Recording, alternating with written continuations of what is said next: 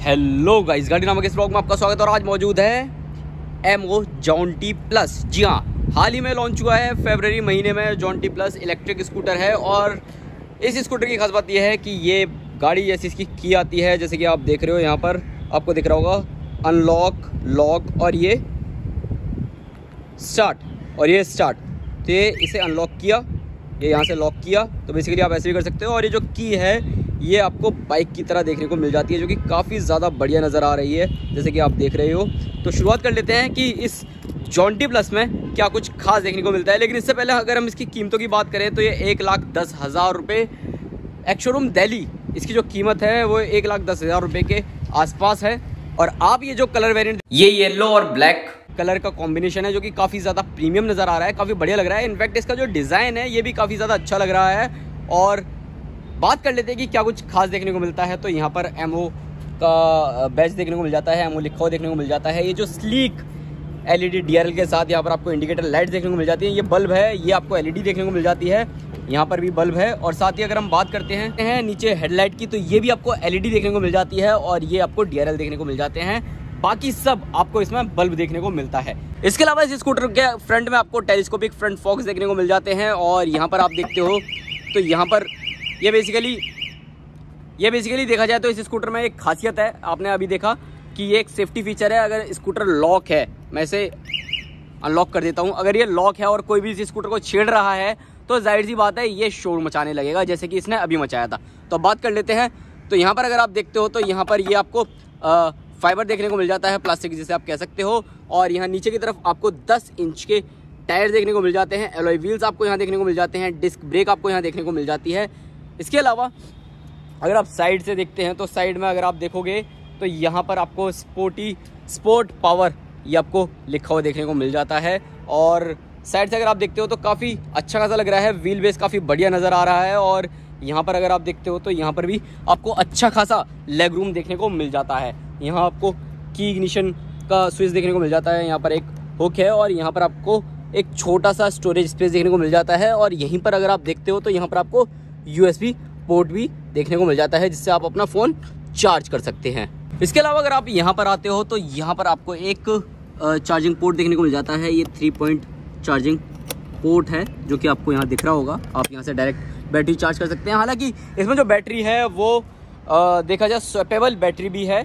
लेकिन इससे पहले अगर हम पीछे वाले सस्पेंशन की बात करें तो यहाँ पर भी आपको को स्प्रिंग लोडेड गैस सस्पेंशन मिल जाते हैं और ये जो बाइक है, ये पूरी तरह ट्यूबुलर फ्रेम पर बनी हुई है।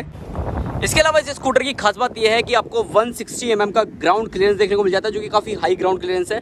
और सबसे खास बात इस स्कूटर में ये है कि आपको 730 mm की सीट हाइट देखने को मिल जाती है, जिसके चलते छोटे राइडर्स जो है, वो भी इसे आसानी से चला सकता है। और इस स्कूटर का कर्व वेट 83 किलोग्राम है, जो कि काफ़ी ज़्यादा बढ़िया है स्कूटर के लिए। वहीं अगर व्हीकल के मैक्सिमम ग्रॉस वेट की बात करें तो आपको 233 किलोग्राम देखने को मिल जाता है। जैसे कि फ्रंट में आपको 10 इंच के टायर्स मिल जाते हैं रेयर में भी आपको 10 इंच के टायर हैं, लेकिन ये वाला जो एलोवील का डिज़ाइन है, यहाँ पर थोड़ा अलग है। फ्रंट में आपको डिज़ाइन अलग देखने को मिलता है और रियर में अलग देखने को मिलता है। अगर आप फ्रंट में, मैं आपको एक बार और दिखा देता हूँ, फ्रंट में इस तरीके का डिज़ाइन देखने को मिल जाता है।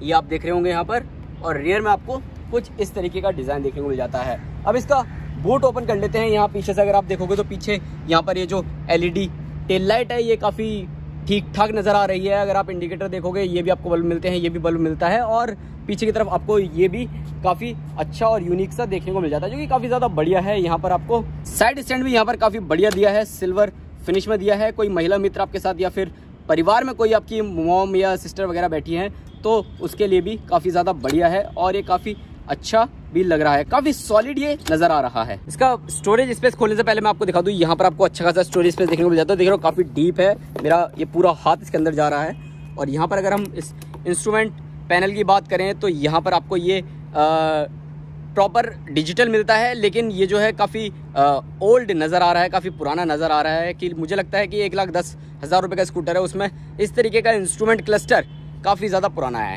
हालाँकि अगर आप स्विचेस वगैरह देखते हो तो इनकी क्वालिटी काफ़ी बढ़िया नज़र आ रही है।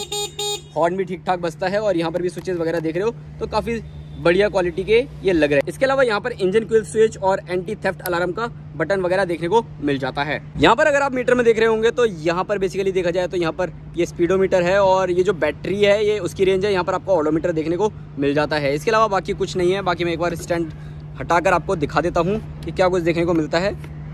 तो ये बेसिकली कुछ नहीं है, यहाँ पर आप देख रहे हो, ये स्पीडोमीटर है ये यहाँ पर आपको बैटरी का मीटर देखने को मिल जाता है और ये ऑडोमीटर है। बाकी इसके अलावा यहाँ पर और कुछ नहीं है। जैसे कि बाकी के स्कूटर्स में आपको देखने को मिल जाता है ना कनेक्टेड फीचर्स टाइप ऐसा कुछ यहाँ पर देखने को नहीं मिलता है। लेकिन हाँ इस स्कूटर में सेफ्टी के लिहाज से अगर यहाँ पर साइड स्टैंड लगा है तो कितना भी एक्सलेट कर लो, ये स्कूटर चलेगा ही नहीं। तो ये एक अच्छी चीज़ है सेफ्टी के लिहाज से। और अगर हम सेफ्टी की बात कर ही रहे हैं एमओ जॉन्टी प्लस में आपको इलेक्ट्रॉनिक असिस्टेंट ब्रेकिंग सिस्टम मिल जाता है, इंजन क्यूल स्विच, जैसा कि बताया, anti theft alarm, side stand sensor, central locking और फ्रंट डिस्क ब्रेक देखने को मिल जाते हैं। तो अब इसका बूट स्पेस खोल लेते हैं। बूट ओपन कर लिया है और यहाँ से अगर आप देखोगे तो यहाँ पर आपको कोई भी स्टोरेज स्पेस देखने को नहीं मिलता, सिर्फ़ इस बैटरी के अलावा।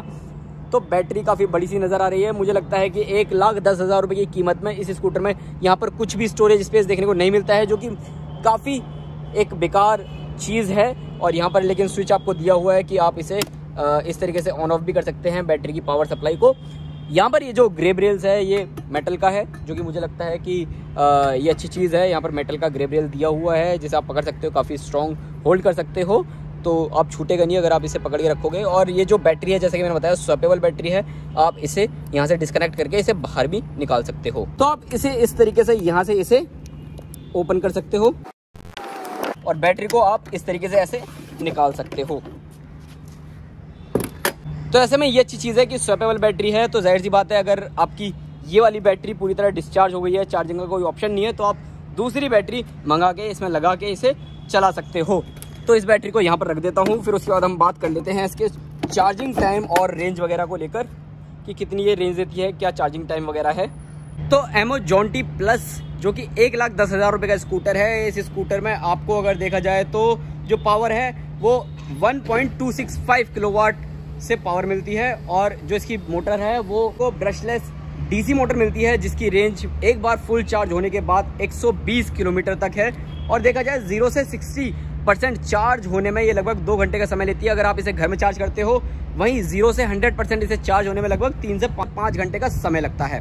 फास्ट चार्जिंग अवेलेबल है और देखा जाए, इसमें आपको रेटिंग 60 वोल्ट 40 ए की देखने को मिल जाती है। लिथियम आयन बैटरी है इसमें, जो कि आप देख सकते हैं। अब चलते हैं इसकी टेस्ट राइड पर और चला के देखते हैं कि इसकी परफॉर्मेंस कैसी है। तो दोस्तों हम चल रहे हैं एमओ जॉन्टी प्लस की राइड पर और चलाते वक्त इसमें जो टॉर्क है वो काफ़ी इनिशियली देखने को मिल जाता है, जो कि काफ़ी ज़्यादा बढ़िया टॉर्क आप देख सकते हो। और इसमें आप, अगर आप देखोगे तो इसकी जो टॉप स्पीड है, वो बेसिकली साठ पैंसठ के आसपास ही है। इससे ज़्यादा इसकी टॉप स्पीड नहीं है। लेकिन हाँ चलाने में काफ़ी बढ़िया लग रहा है। इनफैक्ट इसकी जो ब्रेकिंग है, वो भी काफ़ी ज़्यादा ज़बरदस्त देखने को मिल जाती है।